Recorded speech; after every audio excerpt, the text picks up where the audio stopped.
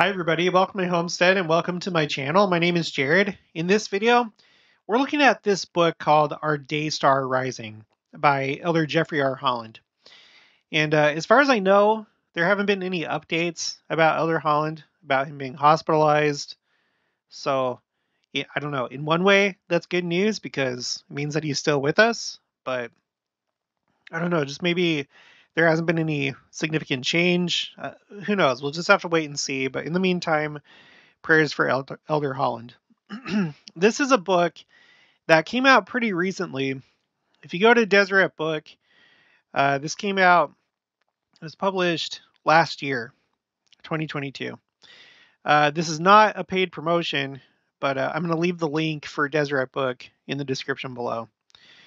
So there was somebody uh, anonymous that sent me this email. The subject line Elder Holland comments on Matthew 24. Uh, if you're familiar with that chapter, that's one of the main chapters in the New Testament about the second coming. And then we are the people. Okay, so it starts off if you use this, please keep it anonymous, which I will. Hey, Jared, I'm sure you saw this quote but it's too good to let you miss on the off chance that you didn't. And I appreciate that, yeah, because you know, don't assume that I that I've seen it. Feel free to send me any any quotes that you know of. I may already have it, but just send it anyway. And um, if it's something that I don't already have, then I'll, I'll uh, add it to my spreadsheets. I'll let you know whenever I put it in a video. Okay, and then Anonymous continues I don't have a source for this quote, and I have looked extensively because I'd love to read the rest of the context. I believe it came from a leadership meeting. I came across it in his book, Our Day Star Rising, pages 47 to 49, uh, which is a compilation of his teachings on the New Testament. Uh, there's no there is no footnote citing the source or mentioning the context of the quote. And then Anonymous puts the quote. But I uh, I told them uh, I would love to use this, but I have to be able to verify it. I don't want to put anything on my spreadsheets that's not verifiable, and, and uh, generally I don't like to share things unless they're verifiable. So they were good enough to send me pictures so that you can see that it really is uh, from the book. And so I want to read just this very short section that talks about Matthew 24. And there was something here that I added to my common misconceptions spreadsheet. Um, and I, I think that this is, I don't know, this gives us some pretty good insight as to how the general authorities, apostles, prophets, how they view the second coming. All right. So let's just start off here. okay, Matthew 24. As we follow the prophets, we will become more and more of the people that God expects us to be in preparation for the coming of his son. Okay? Already off the bat, follow the prophet, um, becoming a people that's ready uh, to receive Christ when he comes, which always, always makes me think of this. This was the the last general conference of uh well, this was the October 2022 general conference, so two conferences ago. President Nelson, overcome the world and find rest. One crucial element of this gathering is preparing a people who are able, ready, and worthy to receive the Lord when he comes again. A people who have already chosen Jesus Christ over this fallen world a people who rejoice in their agency to live the higher, holier laws of Jesus Christ. I call upon you, my dear brothers and sisters, to become this righteous people. So uh, you can tell from this, it seems that uh, a big priority is to make sure that we're a people able, ready, and worthy in preparation for the second coming.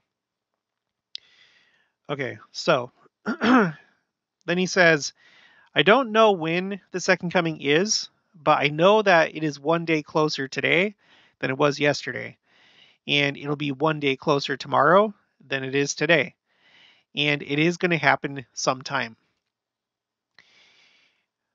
Okay, in fact, the beginnings of the second coming started around 200 years ago in a grove of trees outside Palmyra, New York, with the great first vision of the Father and the sun. Again, we, we've talked about the significance of the April 2020 General Conference, and I think it has everything to do with this. Yes, you know, it's 200 years since the first vision, you know, so you celebrate things when 50 years go by, 100 years, 75 years, whatever. Um, yes. But look at it in light of what Elder Holland is saying. That that was the the beginnings of the second coming. Yeah. All right. So and so it has been underway a long time. And if if anyone asks you, as they sometimes sometimes ask me, when is the second coming? You can honestly say the initial elements of it are al- already underway, nearly 200 years worth. When the grand moment of his ultimate appearance will come, we don't know. We leave that entirely in the hands of the Lord, and he says in the scriptures that not even the angels of heaven know of that final arrival. But when the final arrival comes, we need to look like his church. Okay, again, going back to what President Nelson said people who are able, ready, and worthy. But in addition, now that I think about it, uh, this last general conference, President President Nelson's main talk let me pull it up really quick. General Conference, April 2023. His main talk called Peacemakers Needed, where uh, the whole focus of his talk, and and he it's not just in this talk, he's talked about it before, how we need to avoid contention, be careful be careful with how we treat each other. Um, essentially, what he's talking about is being a Zion people a people that are of one heart and one mind and pure of heart. And of course, there's uh, the symbolism, seemingly intentional symbolism, that he was a heart surgeon in his career. He worked on people's hearts. And uh, I think that's what's needed right now, um, especially being so close to the second coming, in my point of view.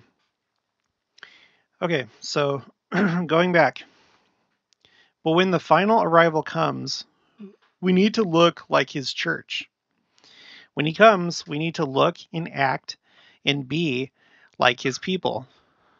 That is a responsibility that has never been required in the history of this dispensation or of any dispensation. That's interesting.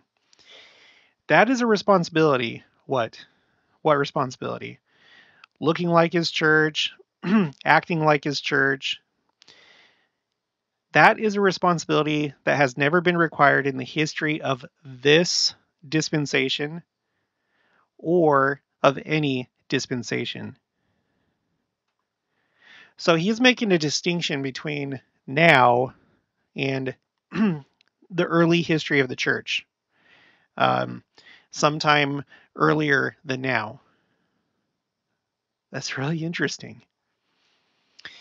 Um, no one has ever had to receive the Savior and present to him his church. That is our dispensation only. We are the people. I don't know how we are fortunate enough to do that. I don't know why we were the ones selected in the great councils of heaven before the world was to be that, but we somehow got the privilege to come in this la- in the last dispensation, the greatest dispensation of time, to prepare prepare for the return of the living Son of the living God and to present to him his church. We're going to give the church of the Lamb to the Lamb, and no one has ever had to do that before, ever. Now, this next part, uh, this is what I put on my common misconceptions spreadsheet. Okay, so this is new. I've decided to put a new column here, which it's now column A.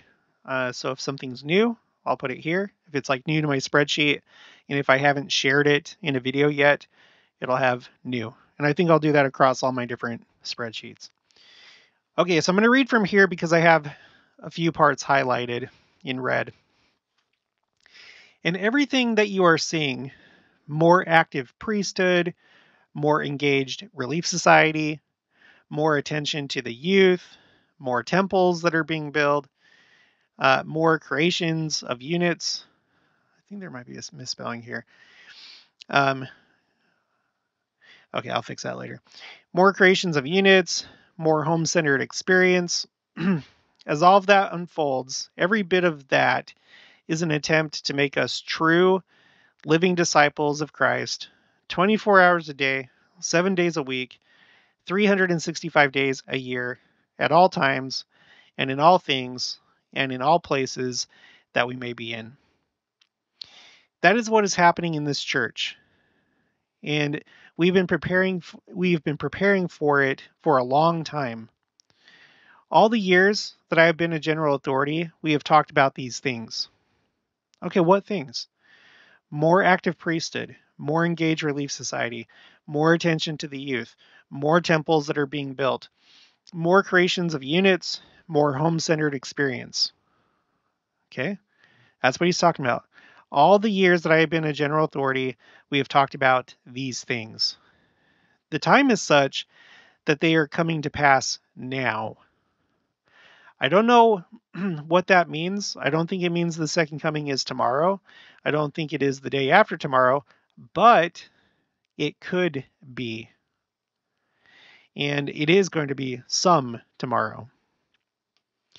So I put this on my common misconceptions spreadsheet because there's a misconception out there that the second coming can't happen now because fill in the blank because this hasn't happened yet.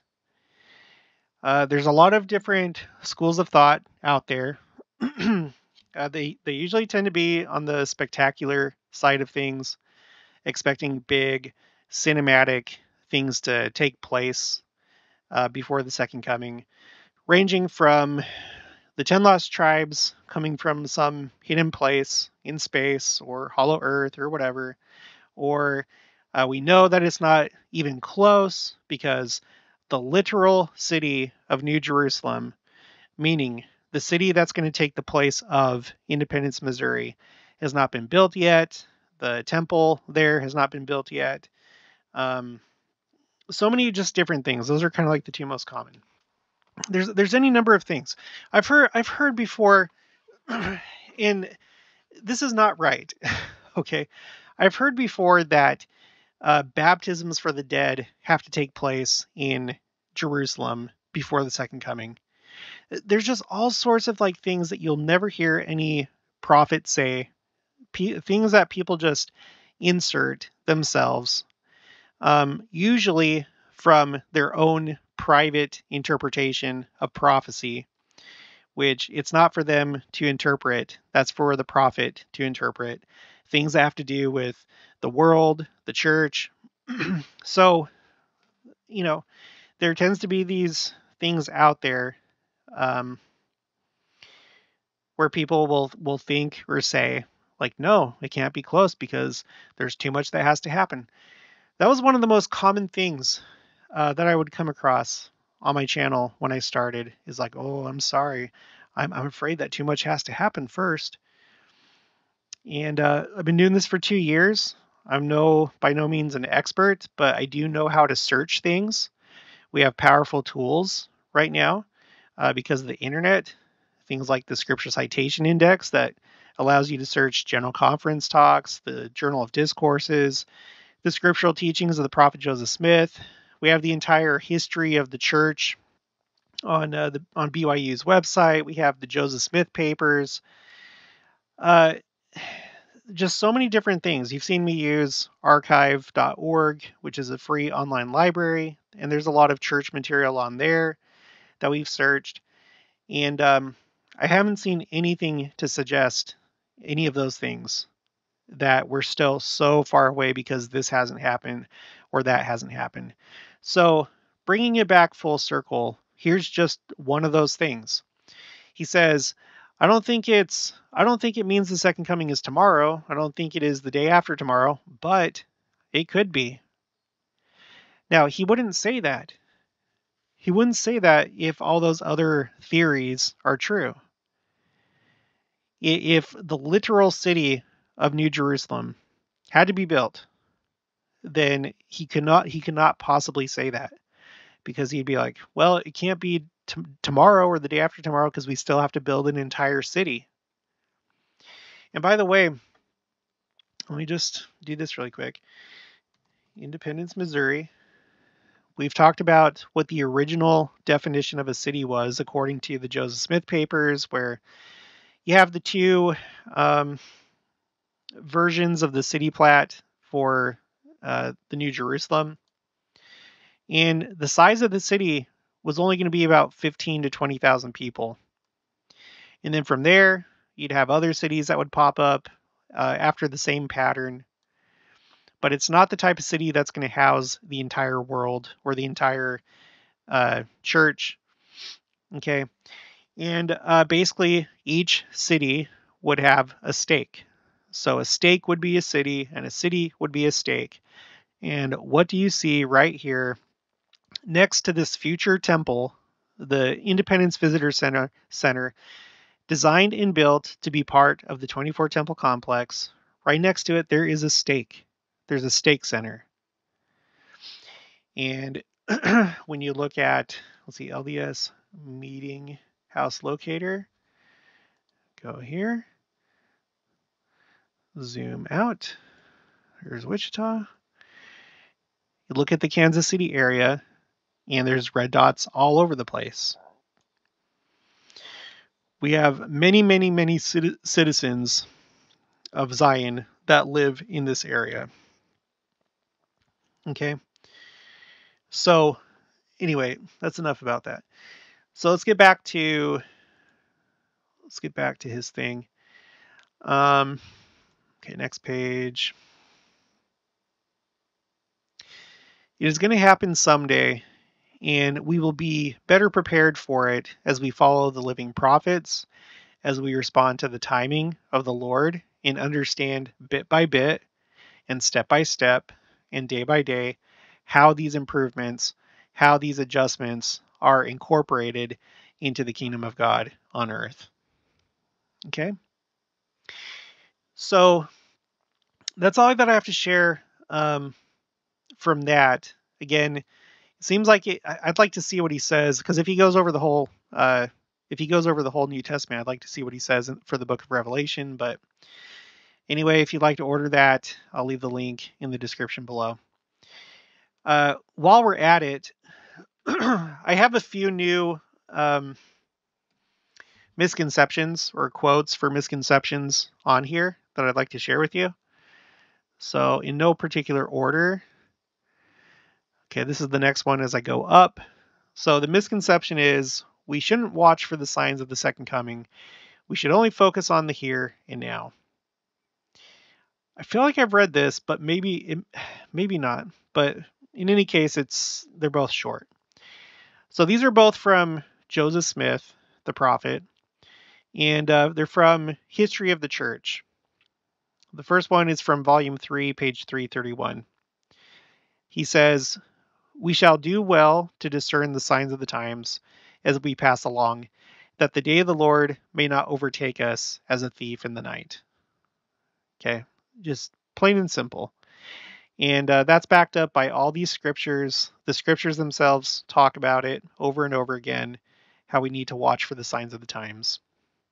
So that may that may sound good and catchy, like we should only focus on the here and the now because this is all that we can control but that is not what we've been instructed to do by the Lord Himself, by Christ in the New Testament.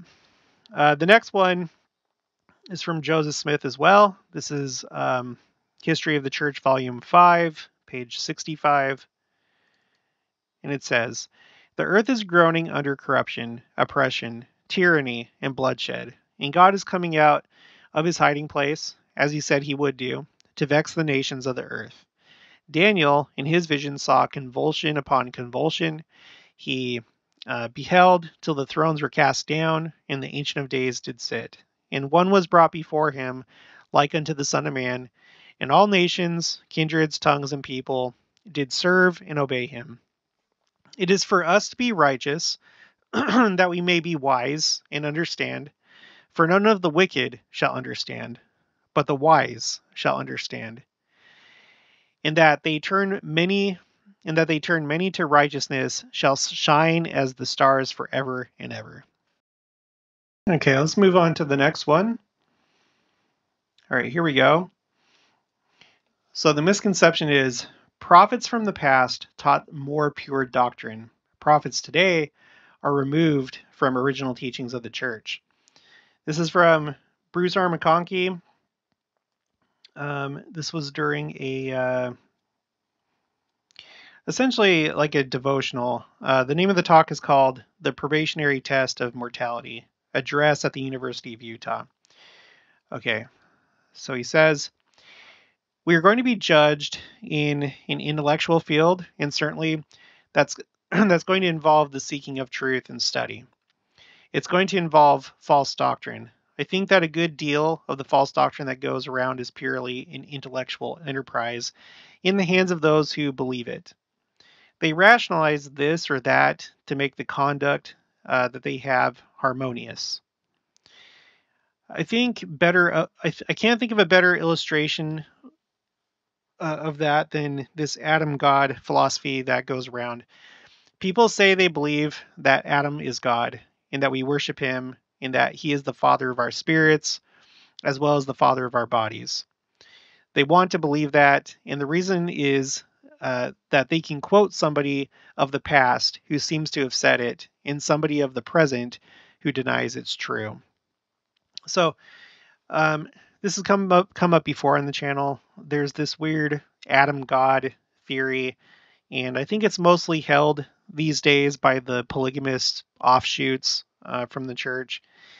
But um, it was a misunderstanding of what Brigham Young said. Um, but they, they hold it to be that Adam is our Heavenly Father. So that's what he's referring to. Okay, so they want to believe that, and the reason is that they can quote somebody of the past who seems to have said it, and somebody of the present who denies it, denies it's true.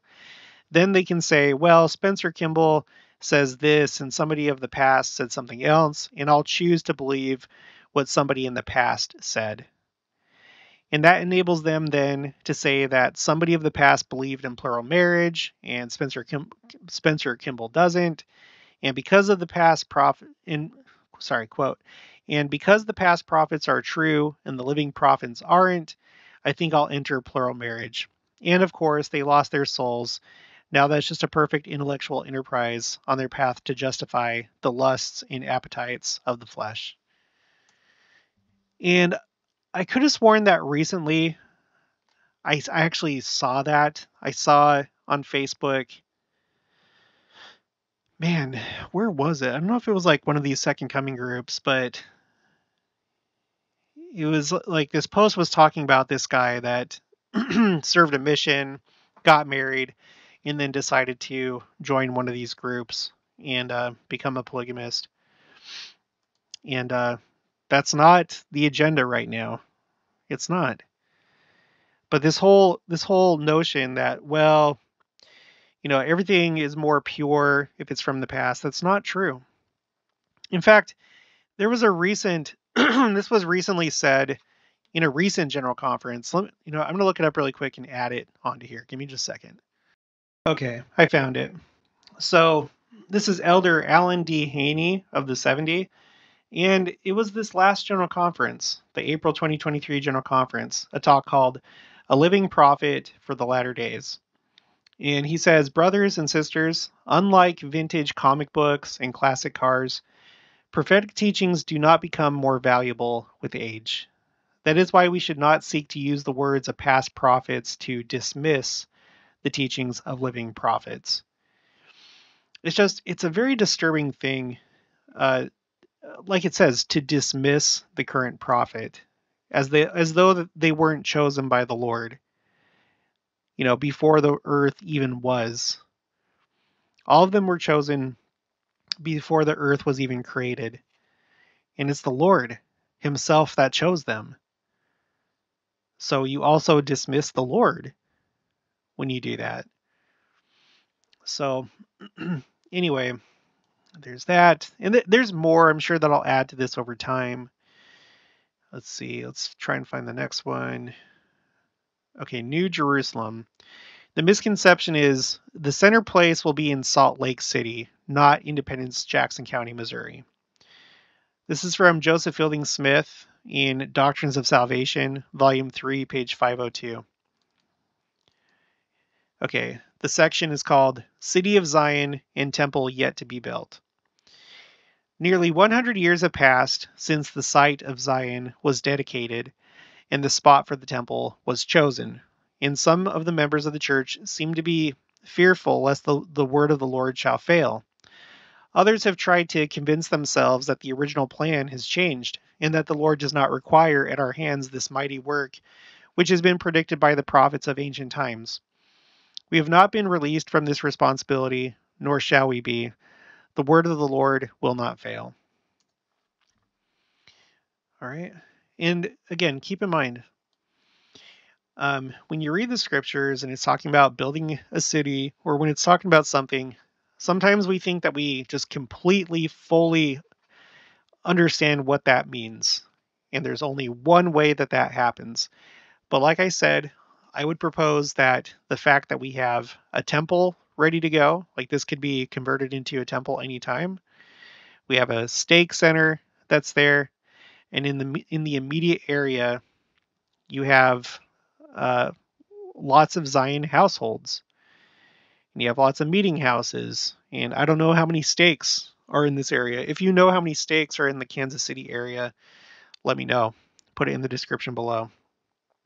But I would say that to get it started, I think it's pretty much here.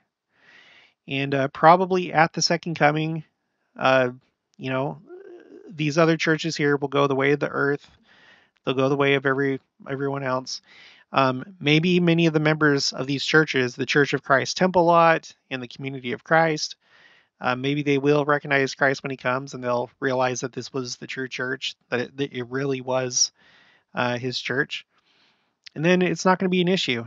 And then already having this one built, we can move forward with plans and build the whole uh, 24 temple complex. All right, we have all this land right here.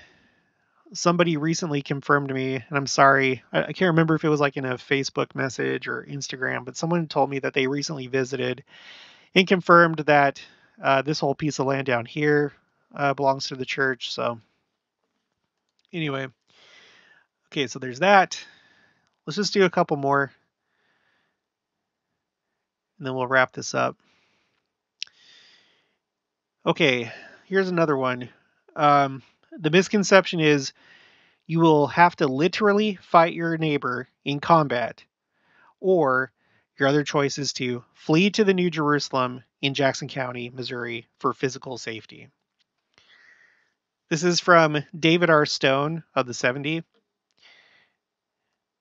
And you'll notice I have many other quotes. I'm just I'm just going over the new ones, okay?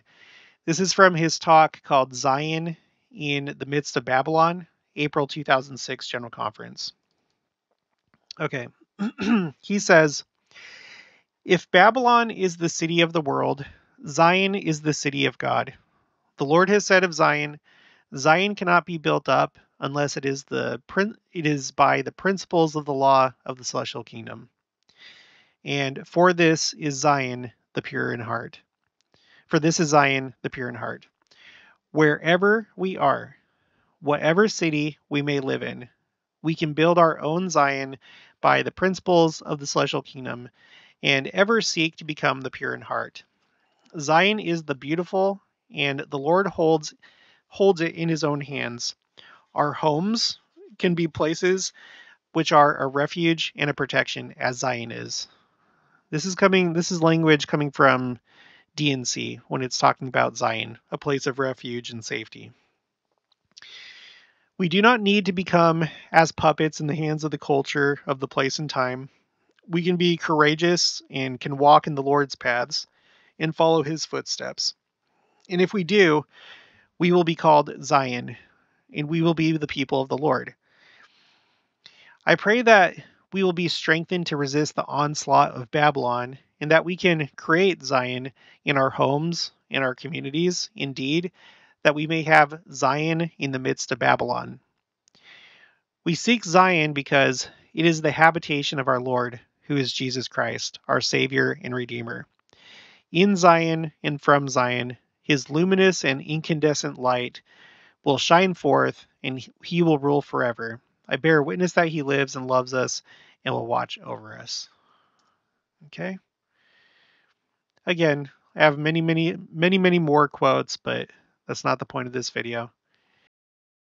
Okay, let's do one more. And uh, it looks like it's going to be Elder Jeffrey R. Holland. Uh, let's see, this is from the Ensign.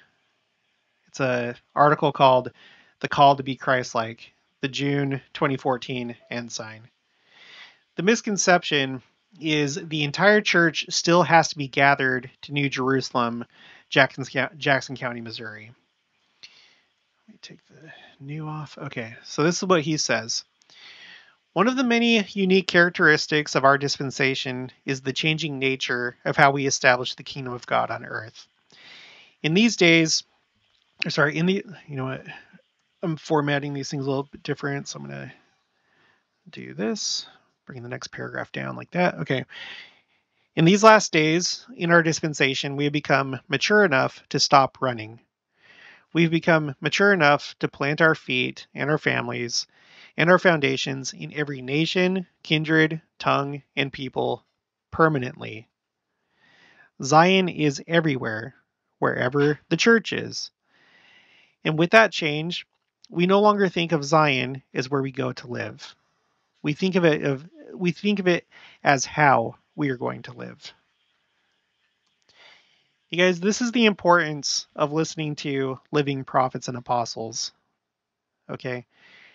We all, individually and as a church, learn line upon line, precept upon precept, and they are in tune of what the pl- with what the plan is and how things are going to play out. And most importantly, how the Lord interprets the scriptures because he's the one that gives the scriptures. He's the one that gives the words to the prophets. And when he speaks those words to the prophets, he means something specific. And it's not for us to guess and shoehorn uh, what we think it means. And the way that we know what, what the scriptures mean is we look to the current prophets and apostles and we study what they have already said through the spirit of prophecy, whether it's in regards to a scripture from the past or whether it's something brand new that's not in the scriptures, because the restoration is ongoing. And um, Elder Bednar talked about how there's many things that have not yet been revealed. And, and we find that in the scriptures. Not everything's been revealed yet. So you can expect change and you can expect better understanding as time goes on. Well, uh, that's going to be it for this one. So, if you haven't already, please make sure to subscribe, like this video if you liked it, leave your thoughts and opinions down in the comments below. Also, make sure to share it, and I'll talk to you guys later.